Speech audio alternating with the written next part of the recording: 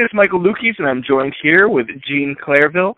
Now, Jean, is there a place for poetry in business? And if so, how does it fit in? Uh, well, in my line of work with uh, actually motivational speaking, the thing is, all my success has actually came from poetry. I was just a guy that had a dream about actually um, sharing my poetry with the world, and when I decided to actually write my uh, well, self-publish my first book, uh, junior year in college, um, it's opened doors for me. Uh, I created a book full of poetry, and colleges would come to me and ask me to share my story. How did I do this with the obstacles that I faced? And then they started paying me to actually go to colleges and speak to um, students that, especially like freshmen, actually all all all of the class, but especially freshmen that were coming in. They wanted me to speak to them. Oh, how did you do it? Because we need people to actually guide them because a lot of people are in college and don't really know what they want to do and how did you find it and how can you help people find it. But even though right now it has led me to uh, inspirational speaking, poetry was the one that actually set the uh, foundation for me. So I believe poetry is in everything. It's just like when people label it poetry, it kind of gets shunned upon. Poetry is in any, is in everything. It's in music. It's in your uh Nike's just do it. The slogan is poetry um, everyone's brand is basically poetry in motion. So I believe that poetry is in business and it's created the business that I'm currently in. Without poetry, I wouldn't be here and a lot of businesses wouldn't be here because if they weren't able to effectively communicate um, what they're trying to uh, supply to their customer base, then they wouldn't be in business as well. So, other than the action of using your poetry to write a book that people can read, uh, how do you use poetry and storytelling to impact others?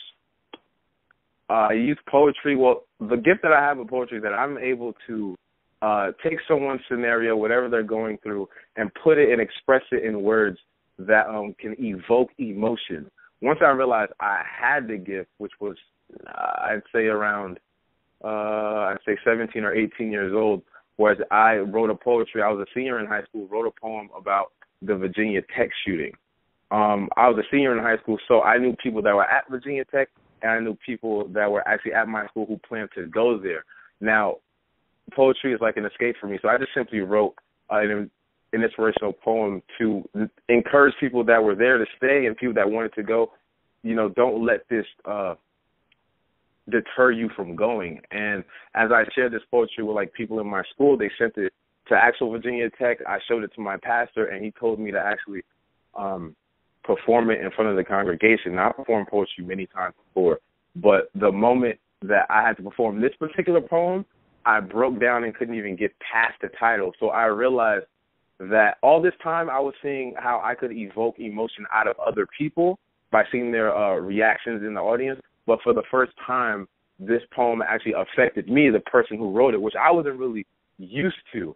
So when that happened, I realized that poetry has an effect on people, but this was the first time it had an effect on me. And how I use poetry is that I basically take what my target audience can relate to, which is basically uh, high school and college students, how they want to go to school, but really want to discover what they want to do. So I take the poetry of the things that I've been through because I was in their seats not too long ago. So I use the poetry as basically the intimate thoughts that we all share, but the majority are afraid to actually express because they don't know how it's going to be accepted in society. So I just take poetry and basically say what they're thinking and relate relate to them in a way that they can get it. Because one thing to say it to them, but they actually have to get what I'm saying. So that's how I actually use poetry into story into storytelling. Because poetry and storytelling, I combine the two. I just use poetry as thoughts that I know that they have and they can relate to, and I tell them stories of the obstacles that I came, that I overcame, and how they can do the same thing as well. And how can entrepreneurs make a similar impact on employees and customers using storytelling and poetry?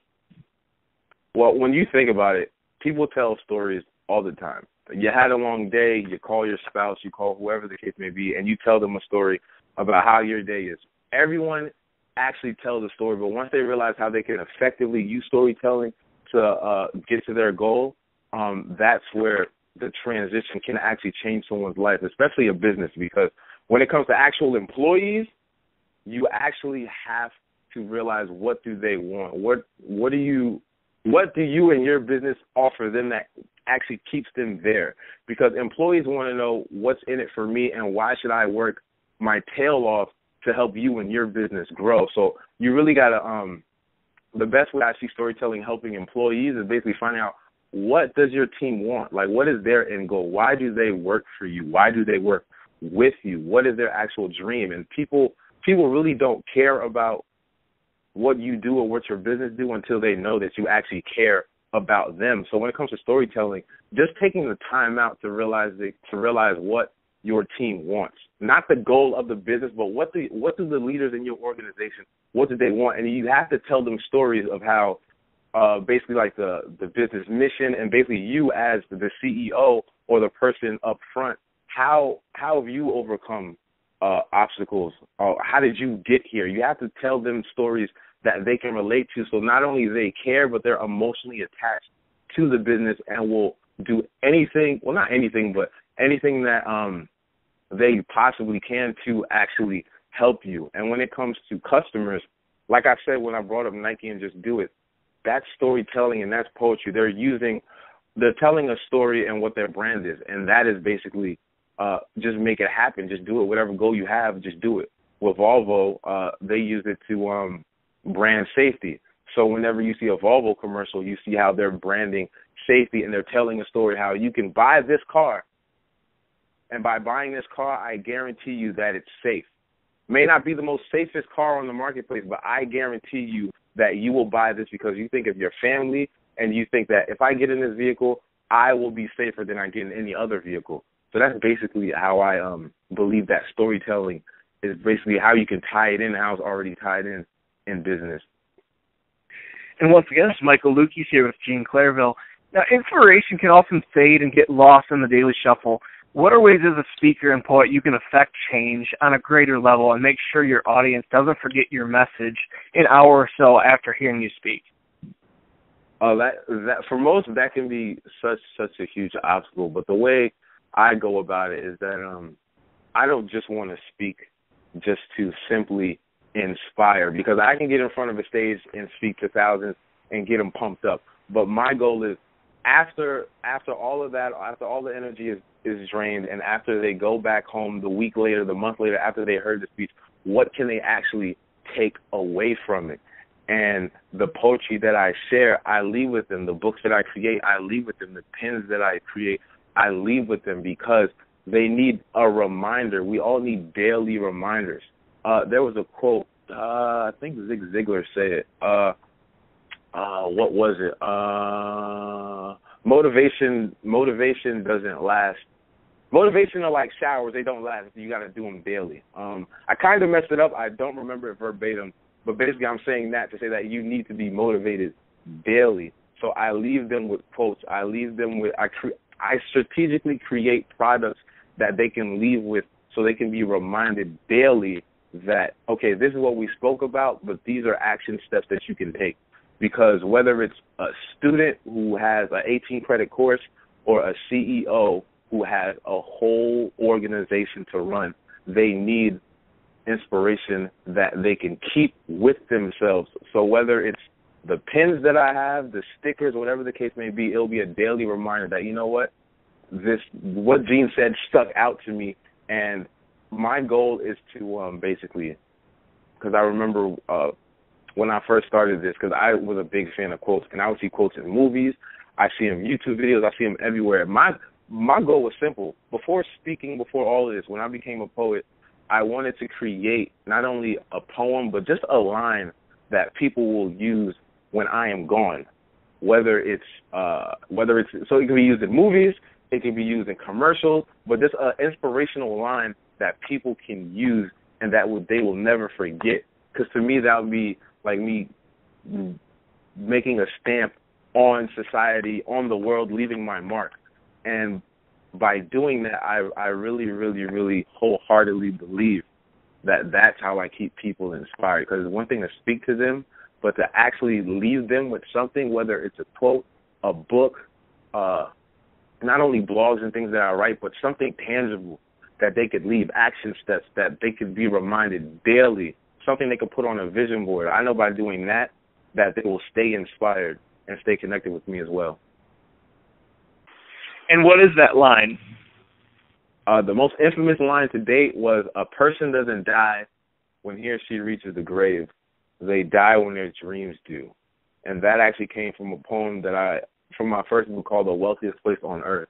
And in that poem I'm simply describing how the wealthiest place on earth is the cemetery. Why? Because that's where people who didn't chase their dreams, their talents, their ideas, their abilities, all of that went to the grave with them. And I was at a place in my life where I knew that I I felt stuck. I'm like, I have to realize what I'm here to do. Like, what am I here for? I woke up today, and I know it's not by chance because hundreds of thousands of people die every day, but I still got air in my lungs, and I I was on a mission to find out why. And like I said, I'm a poet, so the only way I need to express myself was through poetry. So I'm writing a poetry. I'm writing a poem, and as I'm coming to the end of the poem, that's one of the last lines. And as soon as I wrote it, I was like, wow, I had like an aha moment, like, yo, did those words really come out of my mouth?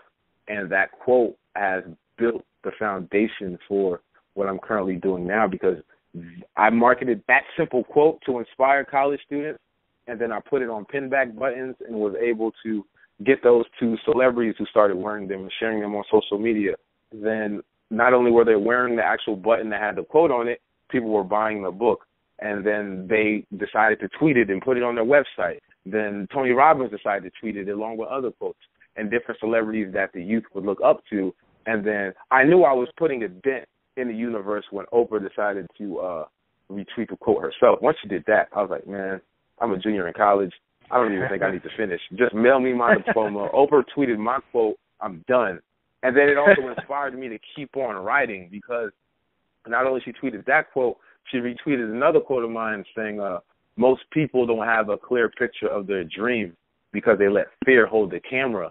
And I wrote, and that's not necessarily from a poem, but I was just writing my thoughts down, and I realized that we think in pictures. And if I was to ask you, Michael, uh, what's the color of your phone? It is white, white phone. What's the color of your car? It is a silver car. See, when you see when I ask you these questions, you see the picture of the thing I'm asking you to describe instantly in your head. Why? Because we we think in pictures. Now, if I was to ask you or ask the audience that I speak to or anybody, what the day of you living your dream, what does that look like? When you close your eyes, what does that day look like? Where are you waking up? What are you having for breakfast? What car are you driving? Where are you located? What service are you rendering to society that actually makes you happy? And when you ask a lot of people that question, they don't have anything painted in their mind. Their imagination is a blank because fear holds them back. So when I came up with that, I'm like, people really need to realize that fear is the only thing that holds us back. But we got to realize we got to paint the picture in our mind of what we want to do, and that will inspire us to actually go towards it. But once we're inspired, all we have to do is act towards it, and that's how it actually manifests into our reality. Great. So I'm sure you get asked this a lot, but leave us with some tips. What are how can we help inspire other people similar to how you uh, strive to inspire others? Well, the way the thing that keeps me inspired one is that I seek inspiration in everything. The way that people can uh inspire them. Wait, the question was, how can people be inspired, or how can people need tips to inspire? How can I inspire people on a daily basis? How would you recommend that you know someone, me for example, go about inspiring people on a daily basis? The way you can go around uh basically inspiring other people is actually honestly to just unwrap the gift that you have. We all have a gift. There's something that we were there's something that everyone was born to do. And once you realize what that is, all you have to do is share it. You got to continue to write that story and you have to unwrap your gift. Whatever you're great at doing, you have to continue to do it. Whether it's writing, singing, blogging, uh, dancing, whatever it is, all you have to do is continue to do it because somebody out there needs to see it. Somebody has to see it. And you just have to continue to act and actually do it because the person that you may look up to, the person that may inspire you, the person that people may deem as a celebrity, they're deemed as a celebrity because what they do, they are actually getting notoriety from it. Your favorite singer is a singer because they continue to use their gift and sing. Your athlete is your favorite athlete because they continue to actually do the sport that they love. So find out what you love to do if you haven't already done so. And if you have, you really have to the number one tip I would leave with you is the thing that will keep you inspired and keep you acting is to find out what your why is. Why are you doing this? And it has to be bigger than money. Why do you choose to do what you do? Because when the obstacles come in front of you, the first thing that's going to flash in your mind is, why am I doing this? The first question you're going to ask yourself is, why am I doing this? And if your why isn't big enough, you're going to quit. The majority of people quit. Same people quit. There has to be something a little off. You have to be damn near insane to actually continue to focus on this vision that you can see and no one else can understand. But if your why is big enough, you will be grounded and it will keep you and it will open doors for you where you thought there were only walls. But I would say focus on your why, write it down, and put it in numerous places where you can be reminded daily of it. My why is written in my pocket, it's on my fridge, it's on the bathroom mirror when I brush my teeth. So figure out what your why is if you haven't already and write it down in numerous places because we all need daily reminders. We need to be reminded daily why we're doing what we're doing. So in order for you to stay inspired, the simple tip that I would leave is to write down your why and revisit it. Like why because you got to ask yourself why you're doing it. A lot of people want to ask you why you're doing what you're doing, but if your why isn't big enough, then you won't be motivated to continue. So focus on your why, write it down, keep it numerous places to keep you inspired, and then everything else will just fall into place. The why, the how, and all that stuff will fall into place. But if you focus on the why, the how will come to you when you least expect it. And this has been Michael Luchies with Jean Clervil. Now, Jean, let us know how we can get in contact with you if somebody's interested in having you come speak at their event. How can they find out more about you and possibly book you as a speaker? uh, they want to find out more about me and everything that I do, they can go to www.mrchanginglives.com. That is mrchanginglives.com. On that website, I keep people uh, motivated uh, with um, my own personal material. I have videos of me speaking. And uh, if you want to book me, you can book me through there. So that's uh, mrchanginglives.com, mrchanginglives.com on LinkedIn is my uh, name, Jean Clervil. Uh, Twitter, Jean Clervil. But if you want to stay connected with me or want to learn want to learn more, uh, it's MrChangingLives.com. Jean, thanks again for your time, and, and keep going out there and spreading your message. I appreciate you, and I appreciate you for having me. And uh, hopefully, this will inspire and spark the mind of somebody who actually changes the world and illuminates the light of anyone that surrounds them or come in contact with them and once again, I appreciate you for having me.